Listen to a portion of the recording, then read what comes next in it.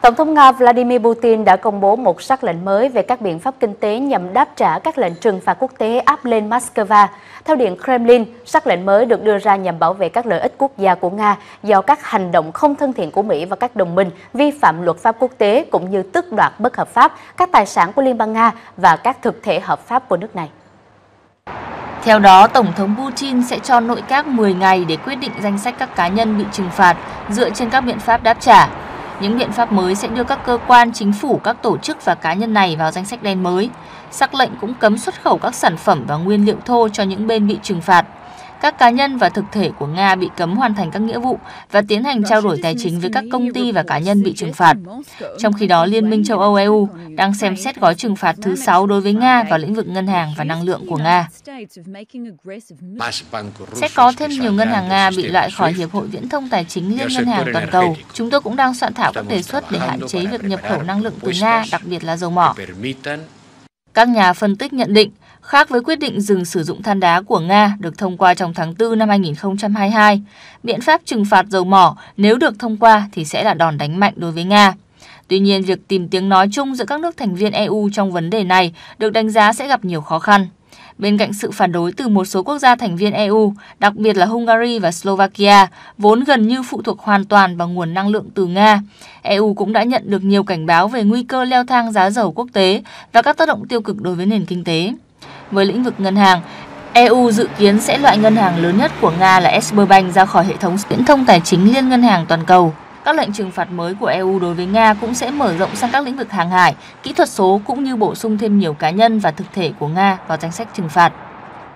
Hai tháng sau hơn 4.000 lệnh trừng phạt chưa từng có của phương Tây, kinh tế Nga vẫn trụ vững. Thậm chí đồng rút còn lập kỷ lục mới khi tiếp tục tăng lên mức cao nhất hơn 2 năm so với euro và đồng đô la Mỹ. Những lệnh trừng phạt chưa từng có của phương Tây do Mỹ dẫn đầu nhằm chống lại Nga đã được ví như những vũ khí kinh tế phá hủy hàng loạt nhằm làm sụp đổ nền kinh tế của Nga. Tuy nhiên trên thực tế, các biện pháp trừng phạt này giống như con dao hai lưỡi. Chúng gây tổn thất cho Nga, nhưng cũng khiến chính những quốc gia áp trừng phạt phải trả giá.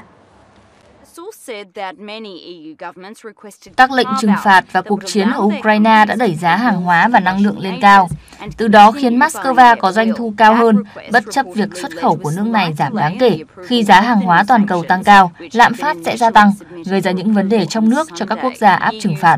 Lạm phát tăng cao và sự gián đoạn chuỗi cung ứng đang đe dọa lợi nhuận của các tập đoàn phương Tây trong khi việc tăng mức lãi suất nhằm kiềm chế lạm phát càng khiến người tiêu dùng đối mặt với nhiều khó khăn hơn. Với những rủi ro kinh tế tiềm ẩn phía trước, tháng 4 đã trở thành tháng tồi tệ nhất của phố Wall kể từ khi đại dịch COVID-19 bùng lên hồi tháng 3 năm 2020.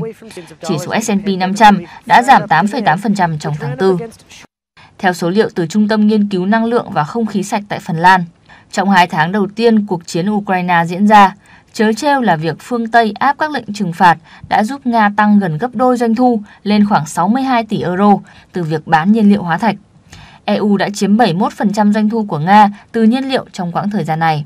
Không chỉ vậy, châu Âu còn nhập khẩu khoảng 44 tỷ euro khí đốt, dầu mỏ và than đá từ Nga trong hai tháng này, so với khoảng 140 tỷ euro trong cả năm 2021. Nga thậm chí cả khi đối mặt với các lệnh trừng phạt của phương Tây đang nỗ lực để duy trì giá năng lượng và hàng hóa ở mức cao, trong đó có việc cắt nguồn cung khí đốt sang Ba Lan và Bulgaria. Moscow có thể khiến các mặt hàng tăng giá thêm qua các biện pháp đối phó trừng phạt rộng khắp hơn. Bằng cách sử dụng tổng lực những vũ khí kinh tế của mình, phương Tây đang tìm cách gây ra cú sốc cho Nga. Tuy nhiên cũng giống xung đột vũ trang, những gì diễn ra trong cuộc chiến ở Ukraine, kết quả của các lệnh lệnh trừng phạt đôi khi trở nên khó lường và thường dẫn đến những hậu quả không mong muốn. Điều đáng nói là bất chấp việc triển khai các công cụ kinh tế cưỡng ép nhằm chống lại Nga và khiến Nga gặp khó trong việc đàm phán kết thúc chiến tranh. Nhà Trắng cho rằng chỉ riêng các lệnh trừng phạt là không đủ. Điều đó lý giải tại sao Mỹ tăng cường vận chuyển vũ khí cho Ukraine, trong đó có việc yêu cầu Quốc hội thông qua ngân sách 33 tỷ đô la Mỹ và hỗ trợ quân sự bổ sung và hỗ trợ kinh tế cho Ukraine, cũng như cản trở các mục tiêu chiến tranh của Nga. Theo các chuyên gia, hiện phương Tây hầu như còn rất ít lựa chọn, ngoại trừ đàm phán với Tổng thống Putin để chấm dứt xung đột. Những cuộc đàm phán như vậy sẽ có vai trò cấp thiết để chấm dứt cuộc xung đột ở Ukraine và khiến châu Âu không phải trả giá quá đắt. Bộ trưởng Năng lượng của các quốc gia Liên minh châu Âu đã tiến hành họp khẩn ở thủ đô Bruxelles của Bỉ nhằm thảo luận về việc tìm kiếm nguồn cung cấp khí đốt thay thế và không nhượng bộ yêu cầu thanh toán tiền khí đốt bằng đồng rút của Tổng thống Nga. Và đây là một phần nỗ lực của châu Âu nhằm đối phó khủng hoảng năng lượng kể từ sau khi Nga tiến hành chiến dịch quân sự ở Ukraine. Tuy nhiên, theo nhận định của giới phân tích, đây là một bài toán rất khó đối với châu Âu bởi sự phụ thuộc kéo dài nhiều năm qua vào nguồn khí đốt tương đối rẻ từ Nga. Tháng trước, Nga đã cắt nguồn khí đốt sang Ba Lan và Bulgaria do cả hai nước từ chối thanh toán bằng đồng rúp. Điều này đẩy châu Âu đối mặt với hiện thực rằng trong gần như tất cả các kịch bản, 18 tháng tới sẽ là khoảng thời gian khó khăn do tác động của giá cả tăng cao trên toàn thế giới và các nước sẽ gặp nhiều khó khăn trong việc cung cấp năng lượng cho các nhà máy, sưởi ấm các hộ gia đình và đảm bảo các nhà máy điện vẫn tiếp tục hoạt động.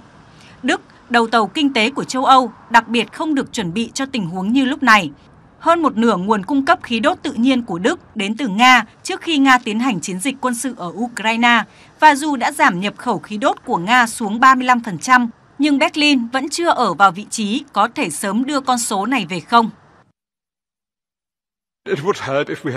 Sẽ hữu ích nếu chúng ta có vài tuần hoặc vài tháng, nhiều thời gian hơn để làm mọi công việc chuẩn bị, nghĩa là chuẩn bị kỹ thuật, Chúng tôi phải tìm một số tàu chở dầu. Chúng tôi phải chuẩn bị bến cảng. Chúng tôi phải chuẩn bị các đường ống dẫn. Vì vậy, thời gian là hữu ích, nhưng tôi nghĩ rằng các quốc gia khác cũng có vấn đề tương tự. Trong khi đó, Ba Lan, quốc gia vốn bị Nga ngừng cung cấp khí đốt do từ chối thanh toán bằng đồng rúp, sẽ kêu gọi Liên minh châu Âu đoàn kết và áp đặt các biện pháp trừng phạt sâu rộng đối với các lĩnh vực dầu mỏ và khí đốt của Nga. Chúng tôi đã sẵn sàng cho sự độc lập về năng lượng, không phụ thuộc vào Nga và tôi tin rằng các nước châu Âu khác cũng có thể làm như vậy. Chúng tôi sẽ thể hiện sự đoàn kết của mình, sẵn sàng hỗ trợ cung cấp ngay nhiên liệu hóa thạch cho các quốc gia khác nếu cần thiết. Trước viễn cảnh các nước châu Âu đang lên kế hoạch áp đặt các biện pháp trừng phạt liên quan tới lĩnh vực dầu mỏ của Nga, một số nước, trong đó có Áo, Italia và Hungary,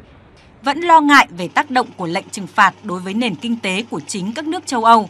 Để xoa dịu, EU thậm chí còn đang tính đến cơ chế riêng cho các nền kinh tế hoàn toàn phụ thuộc vào năng lượng từ Nga như Hungary hay Slovakia.